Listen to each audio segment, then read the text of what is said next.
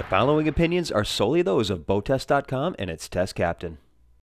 Hi, I'm Steve for Boattest.com, and today we're going to be conducting an inspection and sea trial of a hardtop express cruiser from Galeon, the 405 HTS. We board the 405 from the swim platform that comes out 6 feet. It's covered in natural teak. In the center is a reboarding ladder with teak treads. Grab handles are to the sides, easing the transition out of the water. With the touch of a button, the electrically actuated tender garage opens to reveal open space, ready to be populated with a rib or PWC. We can make our way forward along the side decks from the port or starboard, but the cockpit is only accessible from the starboard side. As we make our way forward, we measure 21 inches between the rail and cabin side, and the rails come up 15 inches.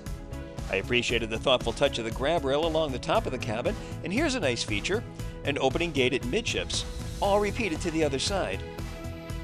Fully forward, there are two bow pads, and notice how they don't interfere with allowing light into the forward cabin. Fully forward, rail height increases to 26 inches. The ground tackle is under a textured hatch. A turn and lock latch releases the hatch.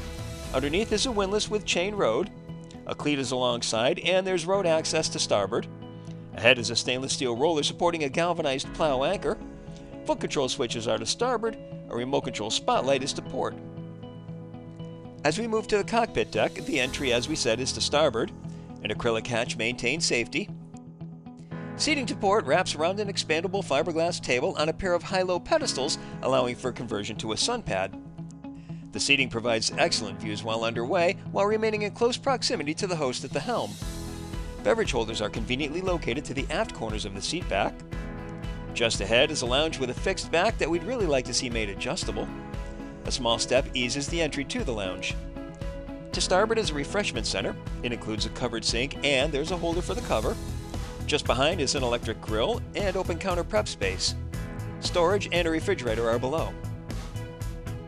We transition to the lower deck by way of a center-mounted companionway with a sliding hatch that retracts into the helm console.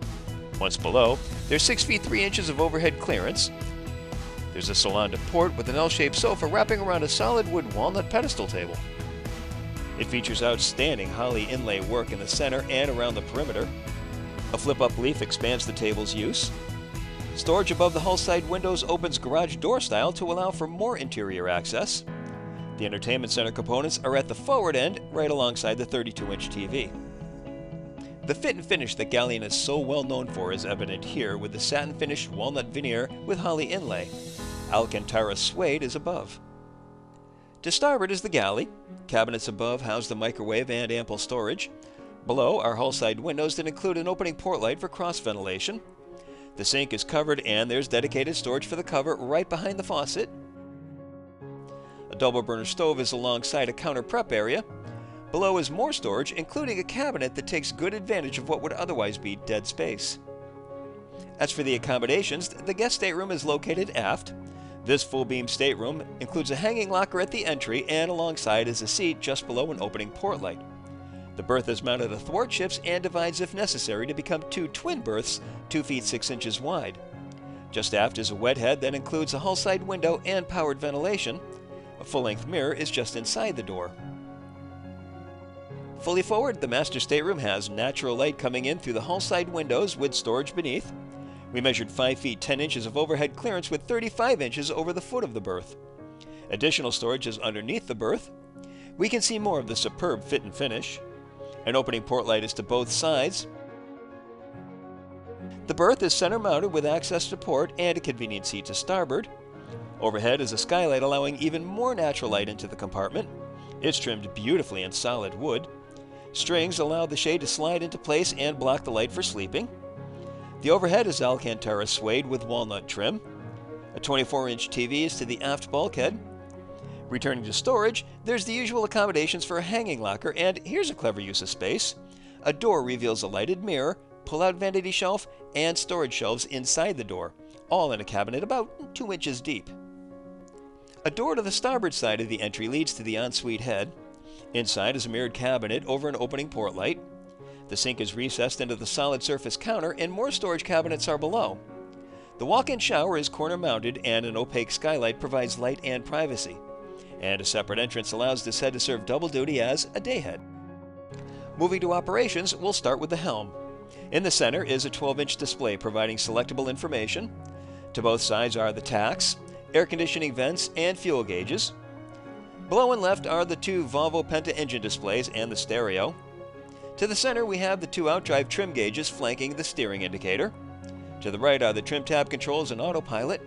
Rocker switches are grouped well with navigation, horn, and anchor controls to the left. To the right are accessories such as sunroof hatch, etc. An extended panel to the starboard side houses the dual engine controls and the stern drive joystick. Way down below is the VHF. The wrap steering wheel is mounted to a tilt base, and thank you for not forgetting the beverage holders. The compass is mounted rather far behind the panel. Down below, there's a convenient footrest that also converts to an elevated platform 9 inches high for us vertically challenged operators, and it also makes it more comfortable when in the seated position. And the helm seat is double wide, includes multiple tones, and curved sided seat backs. Convenient chart book storage is to the port side, with additional storage under that. Visibility was outstanding through the huge single piece windshield, as well as the large side windows.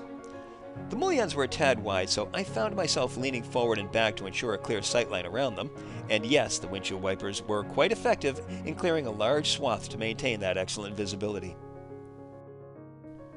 I especially appreciated the opening sunroof along with the manually opening side window that allowed fresh air to circulate through the deck. Plus, this side window gave an improved view of the side of the boat. The nav lights and antennas are supported by a mast that is hinged to reduce the bridge clearance. The main electrical panel is located in the guest stateroom. The 230 amp shore power connections are at the starboard side of the swim platform in a bit of a trip zone. And finally, the engine room is accessed through a hatch just inside the cockpit deck or through an even more convenient hatch inside the tender garage. Inside, the generator is right at the bottom of the ladder and in a protective sound shield. The focal points, of course, being the twin 370 horsepower Volvo Penta D6 diesels turning DP outdrives. The fuel tank is located just ahead of the stairs.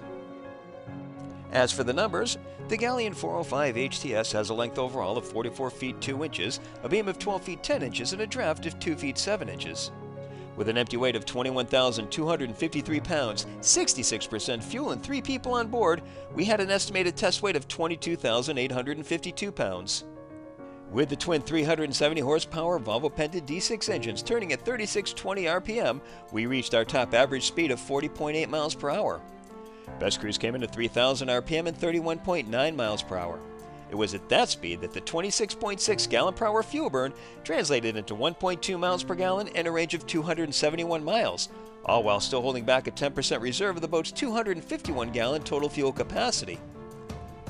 We came up on plane in 8 seconds with minimal bow rise that didn't affect our forward visibility. We then accelerated to 20 miles per hour in 9.2 seconds and continued on through 30 miles per hour in 16.5 seconds. She has gentle turning characteristics that showed no adverse qualities. She also has a sporty feel to her handling in that she responds so well to the helm. Test day was flat calm, but crossing wakes showed no surprises and kept a dry ride with no hull slap.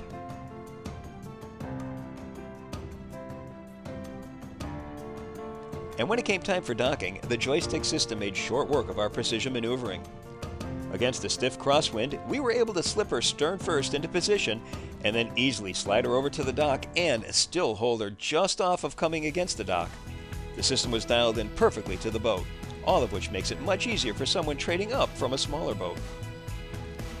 So in my opinion, we've got a good handling boat with kindly and predictable response, a comfortable layout that provides for relaxing and overnighting, plus the fit and finish we've come to expect from the brand, all with an express cruiser layout with a hardtop and full windshield, all rolled into the 405 HTS from Galeon.